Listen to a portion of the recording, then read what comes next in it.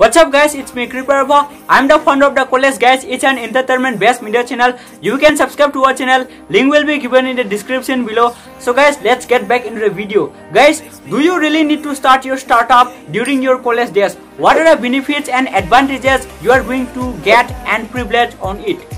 Starting a startup is not an easy job, right? So you need lots of business plan, practical lesson and you need investment also according to the traditional innovative ideas. But at present, many college students are experimenting themselves, those who are getting into the entrepreneurship cell, right? So they are trying to make themselves as more creative, okay, to start a new startup they are just creating their own innovative and they are experimenting the star the stuff like startup right so uh, those startups they are just trying to build and make us a brand and release them in the market okay so let's get back in the video in detail in fact India is the third largest startup ecosystem in the world. Starting a startup in India is a good job, I could say that.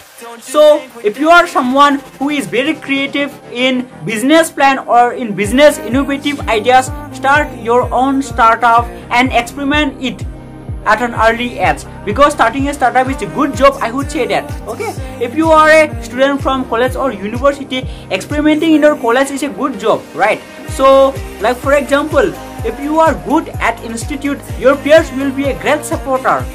Unless and until if you have a good grade in your exam or in the college or university your parents won't tell you anything right so just keep experimenting your startup idea and as far i know indian government is already encouraging the young entrepreneur to start their own startup because indian government doesn't have that much of job to provide you the employment right so because of that only indian government also uh, encouraging to all the young startup to start their own and, and to experiment their own. So college days are the best days to experiment the stuff like startup. College young teens enthusiastic who have the tenacity to try out the new things. When it comes to their willpower, they have the strongest willpower and they have the power to take risks at an early age. Moreover, the atmosphere of college, that is the student community becomes your network and sometimes they turn out to be a co-founder of any startup.